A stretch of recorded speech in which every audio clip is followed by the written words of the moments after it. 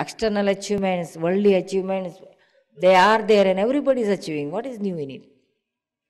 Everybody is getting educated, marriage, kids, education of kids, marriage of kids, and then chanting something, some following some religion, and at the end, dying, death. That is the life. But what about the inner thing? Re- realization of soul, getting such thing which with such achievement which gives no unhappiness in the life, no hurting to anybody, not getting hurted by anybody.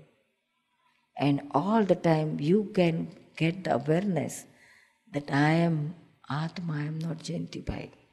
Jayantibhai is the name to identify this body. You are not the name. Name was given later on, after birth. It was not written on any, anywhere on the body. That means this can be changed. You know, our Indian Indian ladies, you, you, you know, after marriage, if your husband doesn't like your name, husband changes the name. If Champa is there, husband makes Chandni. Now, Atma doesn't change, you doesn't get any changes. Nobody can change you. You are there witnessing right from birth to death. You are there. Rest of the things are always changing, coming and going, coming and going. Thoughts, thousands of thoughts are coming and going, coming. No, not a single thought is constant.